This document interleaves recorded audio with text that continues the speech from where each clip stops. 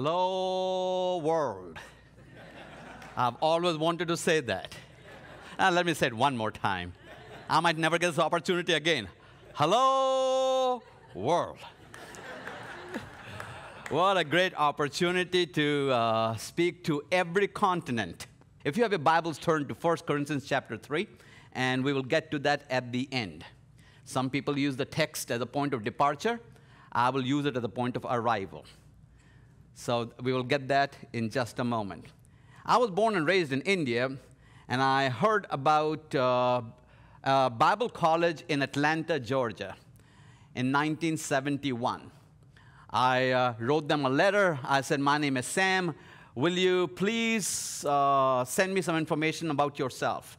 And they did. They sent me a catalog and, a, and, an application form. I filled out the application, put the money in it, and sent it back to Atlanta, Georgia. They, they said, We have accepted you as a student, but for you to come here as an international student, we need somebody to make a deposit of a $1,000. And we also need a letter from somebody saying that we will support you as a sponsor for the four years that you are going to be our student.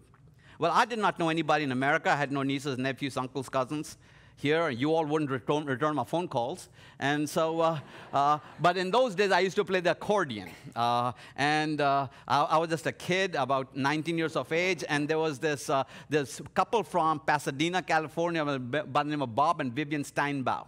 They came to our church for Sunday night service, uh, and they sang and preached. I played the accordion for them, and that is all. I had their address, though, in Pasadena, California. So I wrote them a letter. I said, Dear Bob and Vivian, I don't know if you remember me or not, but I'm the kid in India that uh, I played the accordion for you on a Sunday night. Uh, I have applied to uh, this Bible college in Atlanta, Georgia, and uh, they have accepted me, but they're looking for somebody to send them $1,000 and underwrite me for four years.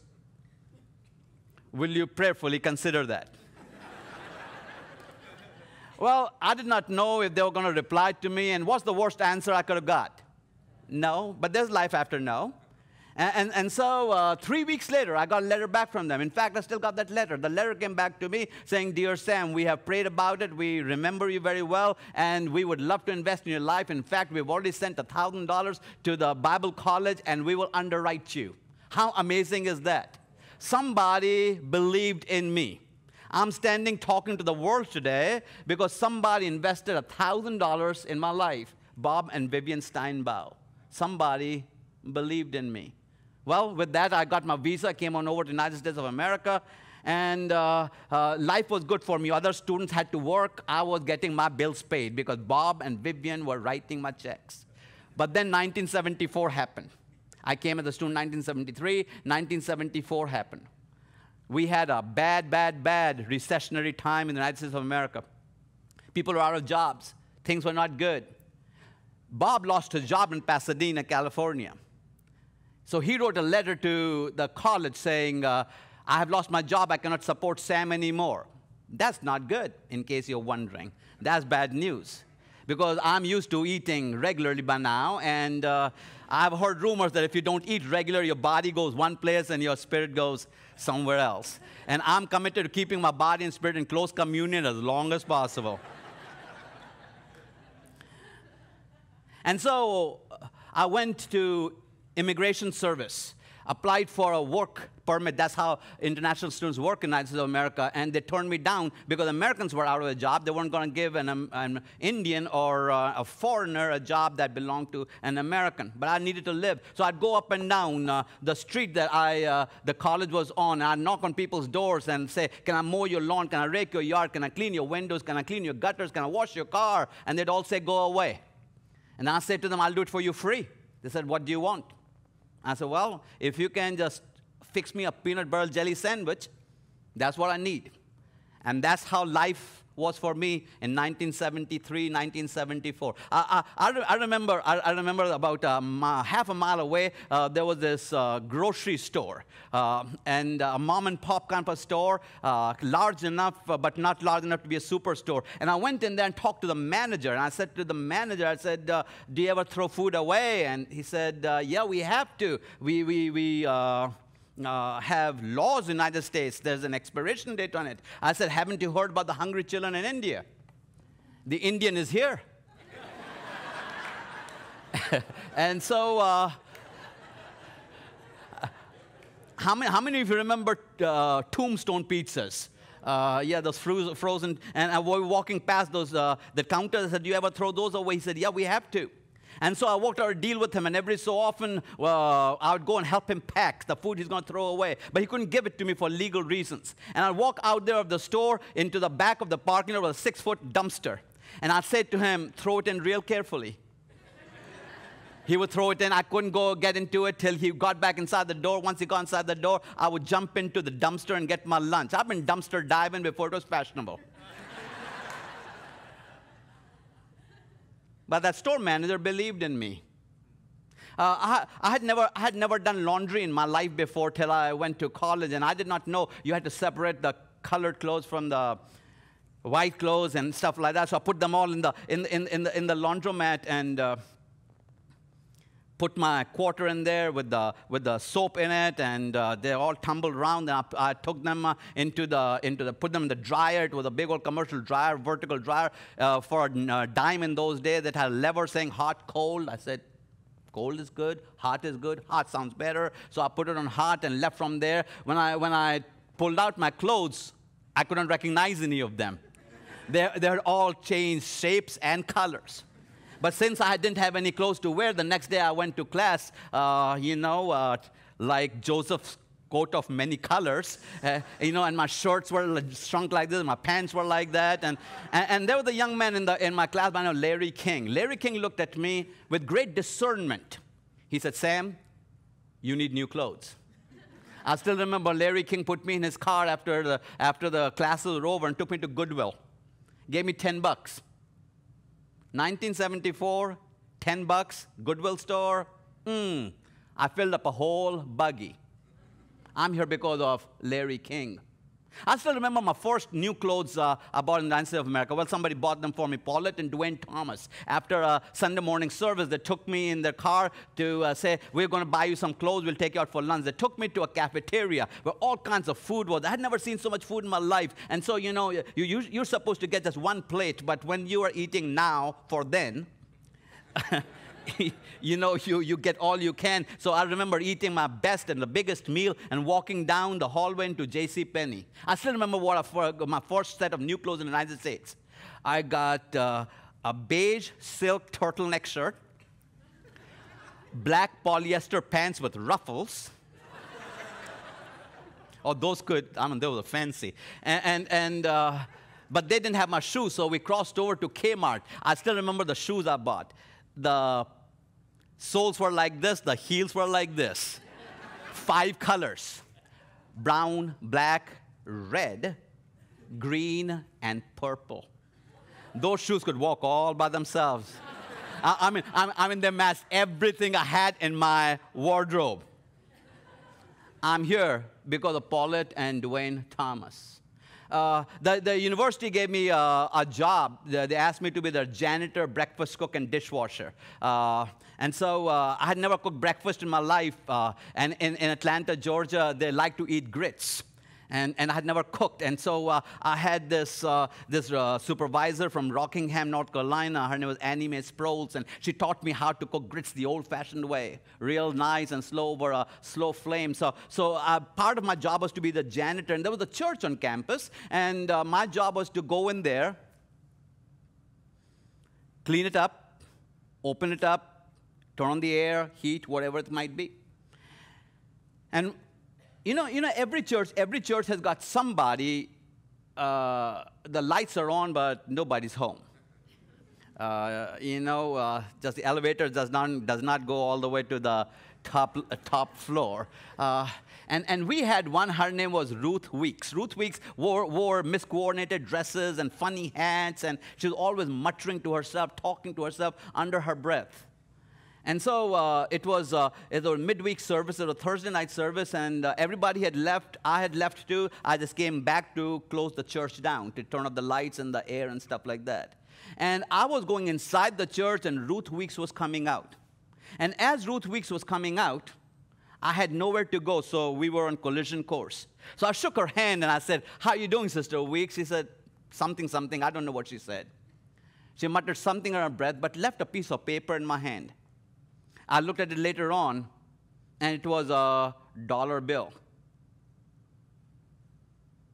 In those days, you could go to McDonald's, get a Big Mac, order fries, couldn't supersize it, but order fries, and a drink, and have change left over from a dollar. After that, if nobody shook her hand, I shook her hand. For three years, Ruth Weeks, every Sunday morning, every Sunday night, every Thursday night, Ruth Weeks gave me a buck. No, no, you won't see Ruth Weeks in any marquee. Her name is not mentioned in any book. You Google her, you won't find her. But I'm here because of Ruth Weeks. In some way, in her own way, Ruth Weeks believed in me. The question is, who are you believing in? Because you see, none of us have come here. We've all been brought here. You didn't come here on your own. None of us in this room and everybody who's watching me worldwide have to realize that whenever somebody says, "Well, I, you know, I made a, you know, I'm a self-made man," I just want to look at you and say, "Didn't make much of yourself, did you?" because if you're gonna be who God intends for you to be, it'll take an army of people who believe in you and to bring you to where we are. And so let me close the story. Remember, I told you I was a janitor, breakfast cook, and dishwasher at this college. Twelve years later, I graduated in 1977. In 1989, 12 years later, that same college invited me to come back and be their president. Now, that is a leap of believing. Because people who are my bosses, and I'm their boss now. People who used to give me orders now work for me. The board of trustees is the same board of trustees that inviting this former janitor who cleaned toilets and swept floors and painted walls and picked up trash, who cooked breakfast for them and washed their dishes for them for three and a half years. And I look back on that, it was not that I was all that, it was not that I had proven myself, but they had the ability to believe in me. You, you see, see, that's the difference between people leaving an inheritance and people leaving a legacy. Inheritance is stuff. Inheritance is, is uh, stocks, bonds, cash, cars, houses, land. That anybody, anybody can buy that and leave inheritance for you. But legacy is totally different. Legacy is never a thing, legacy is always a person. You never leave a legacy that you can buy you develop a legacy. Someone said it this way someone said it that if you ever see a turtle sitting on top of a fence post, ever see a turtle sitting on top of a fence post, you know one thing the turtle didn't get there by itself. So, my dear brother turtles and sister turtlettes, I don't care where you are in life, you have to understand that we have not come here we have been brought here. And the reason we've been brought here because somebody believed in us. The greatest gift one human being gives to the other is not a new house, a new car. It's not winning the lottery. The greatest gift one human being gives to another is to believe in them. You cannot give a greater gift than to believe in somebody. So, I'm the president on July the 1st, 1989, of this college in Atlanta now. It's my first day there. I drove my car into my parking space, which said president. Because, you know, I just wanted to take somebody to take picture of me with my reserved spot there. And I left my car there, and I saw a young man in the front of the university who was uh, mowing the lawns. I went out there and I waved for him to stop. He was a John Deere. He stopped, and I shook his hand. I said, Hi, my name is Sam. I'm the new president here. And he said, Hi, my name is Benson. I'm the janitor here. His full name is Benson M. Karanja. I saw something in his eyes. That was 1989. The Lord allowed me to help him in so many different ways. He finished his BA at our college. And from there, he went on to a university and got his MBA. And then we helped him get to, to another university, get his MLS, of Library Science in those days. And then uh, he went on to another university, got his Doctor of Education. He, he worked, I guess, 18 different jobs for me, all the way from uh, assistant librarian to student affairs to uh, dean of this. And you know, in a, in a college university system, there's so many layers you can move people around. And he and became a vice president. He ended up being my executive vice president. And then in 2003, when I resigned as uh, president of that college, that janitor was now my president. On the first day, he was my janitor. On the last day, he was my president. So whenever I see Benson today, Oh, if I was to, if you were to come on that campus, here, the first building you're to see is a huge auditorium. And the auditorium says Samuel R. Chand Auditorium, named after me. That's cool. But pretty soon, the bricks will crumble, cement will give way, carpet will need to be changed, something will happen to it. But the greatest legacy I have is not a building named after me. The greatest legacy I have is the president of that university today because he's my living legacy. And so when Jesus found out that he had three and a half years left on this planet, he set out to create his living legacy. Jesus did three things that I think we need to do when we are mentoring somebody. Jesus did three things. Very simple. You'll remember this discover, develop, deploy. Discover, develop, deploy. Everyone together. Discover, develop, deploy. I said one more time. Discover, develop, deploy. I, just, just a couple of illustrations, uh, stories told uh, of, of how he picked different disciples. And, and we know the famous story about the, the, the Peter, James, and John fishing and so on and so forth. Let me tell you a couple of other stories. One of them is Matthew. Matthew, the tax collector, Matthew is gouging his people. The way Matthew makes his money, he's, he's, a, he's a Jew who is gouging his own people for the occupiers, the Roman government, and the way he makes his money is to charge them over and above what they are supposed to pay. So Bible tells us that Jesus stepped back and watched Matthew at work. Watched him for quite a while. And when he watched him, he understood what Matthew was doing. He said, You know, Matthew, is doing the wrong thing, but doing it great. He's excellent at doing wrong. He's keeping two sets of books one for the government and one for himself. Jesus walks up to Matthew and says to him those magical words Come, follow me. Matthew left him everything that he was doing and started following Jesus. But Jesus had a strategic plan for Matthew. Because you see, Jesus knew, Matthew did not know this, but Jesus knew how the New Testament is going to begin. The first book is going to be written by Matthew. And he needed somebody who could keep accurate accounts and an accurate record to open the first 18 verses that we never read so and so begat so and so, and so and so begat so and so, and so and so begat, and he numbers generations. Because Jesus discovered, believed in him when nobody else would believe in him. I want you to know when he reached out and Matthew was following him around, Jesus took a risk on him. But then there's a second one I want to talk to you about. His name is Thomas. We know Thomas as what? Doubting Thomas.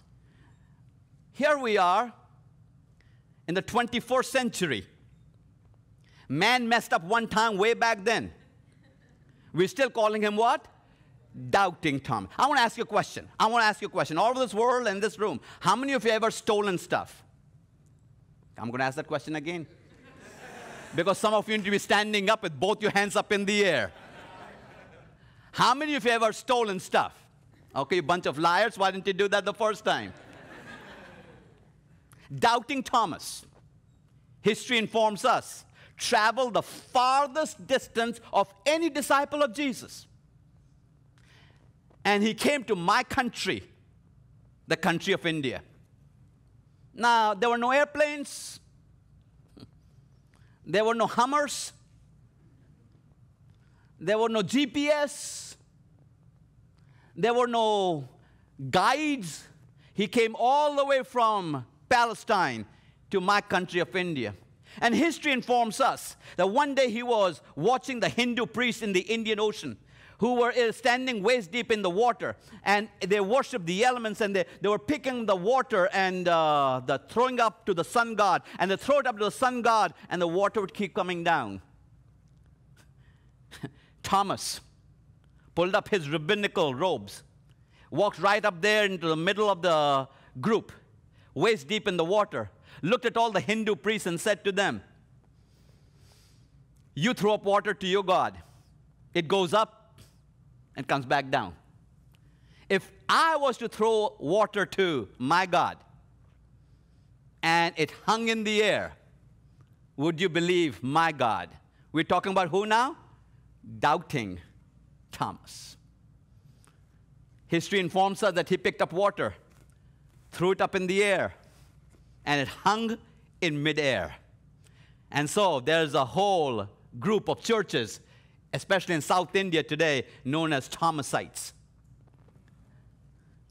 Because even though one day he messed up in a room, but Jesus looked at him and said, I know right now you don't believe in me, but Thomas, uh, my believing in you is not dependent on you believing in me. And he looked at Thomas and said, Does not matter what people say about you. I believe in you. I want you to know that does not matter what's going on in your life right now.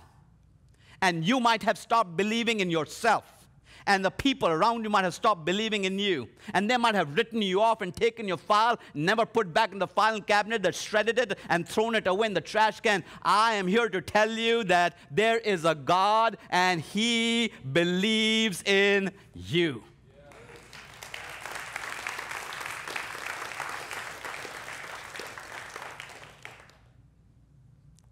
Not long ago, I saw a picture in a newspaper a picture of a woman next to a man, and she had her head on his chest. They had never met before, they had just been introduced. But she had her head on his chest. Here's the rest of the story. This woman had a daughter who died in a car accident, but she was an organ donor. This man needed a new heart. So they harvested this daughter's heart and put it in this man's chest. And now this woman had her ear on his chest, listening to her daughter's heartbeat. I wonder if somebody was to put their head on your chest how many heartbeats would they hear? There are thousands of hearts beating inside this chest. I still stand tall today, not because I'm tall, but because I stand tall on the shoulders of many. Because somebody believed in me. So Paul takes all of that, and in a very succinct manner, he says this to us in 1 Corinthians chapter 3, verse 10. 1 Corinthians chapter 3, verse 10. Paul takes three and a half years of Jesus and wraps it up in one verse. 1 Corinthians chapter 3, verse 10 says, According to the grace of God which is given unto me, as a wise master builder, I have laid the foundation, and another buildeth thereon. But let every man take heed how he buildeth thereupon. Paul is saying three things to us. One is, I'm a master builder. I want you to know everyone in this room is a master builder. You're building something. Whatever you are building, but you're building something. Number two, somebody laid the foundation. Paul says, I have laid a foundation. And then Paul goes on to say something, and there will somebody else is going to come and build on this foundation that I have laid. Isn't it amazing That sometimes we start thinking like, I have come here on my own, but we're always building on somebody else's foundation. I want to remind everyone listening to me right now that God believes in you. I believe in you. Jesus believes in you. And this would be a great opportunity for you to do two things. One is for the past, and the other is for the future. In the past, I wanted to rewind your life and see all the people who have been big in your life, who brought you to where you are right now. Some of you are listening to me right now in your churches, and some of you are on your couches, and some of you are still laying in bed. Doesn't matter where you're at. Somebody brought you to where you're at. I want to start thinking about those people who have brought you to where you are in life today. And maybe you need to call somebody, email somebody, text somebody, write a note to somebody, send a card to somebody. Somebody needs to send somebody a contact of some nature simply to say, Thank you. I know this program that goes out of Life Church has got potential of touching literally millions of people amazing things can happen all over the planet as people just look back and say thank you to somebody. It could be that parent, it could be that grandparent, it could be your neighbor, it could be your teacher, it could be a coworker, regardless of who it might be. Look back and say thank you. But the second thing is to look to the future and say, Lord, who do I need to discover? Who do I need to develop? And who do I need to deploy? Who do I need to believe in? Not because, see, it's easy to believe in people who've got it all together. It would have been easier to believe in somebody else if it had not been doubting Thomas. It would have been easier to believe in somebody else had it not been for gouging Matthew, the tax collector. It would, it's easy to believe in people who got a nice package going on. But how do you believe in people that looks like from the outside they don't have it. But I'm so glad somebody believed in me. I believe in you. I want to give everyone an assignment right now. And the assignment is that within two hours of you listening to what I'm sharing with you, you will tell at least three people three powerful words. Everyone say it together I believe in you. Let's do that together. I believe in you. In the next two hours, tell three people, I believe in you. Let me pray with you. Thank you, Lord, for believing in us. When there was no reason to believe in us, you believed in us. When we could not believe in ourselves, you believed in us. And then you sent people into our lives who, in a tangible way, believed in us. So even as we are reflecting back on our life and we begin to think about how we're going to send a Facebook message or a Twitter or an email or a text or a phone call or a card or a letter, whatever shape, form it might be, as we reflect on our life, we want to stop by and say thank you. But as we look forward to our life, Help us to discover, help us to develop, and help us to deploy. In Jesus' name we pray. Amen.